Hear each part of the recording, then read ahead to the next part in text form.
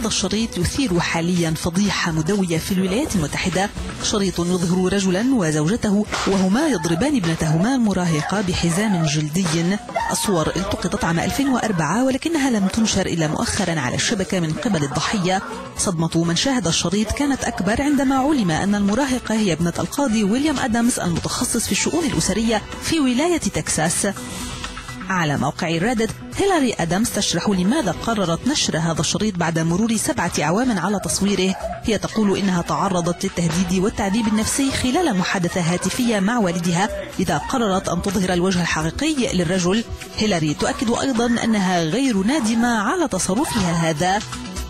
الشريط انتشر بسرعة البرق على الشبكة وقد شوهد أكثر من خمسة ملايين مرة. صور أثارت موجة من الاستياء والتنديد على الشبكات الاجتماعية ورواد النت عبروا عن غضبهم إزاء عنف القاضي مع ابنته.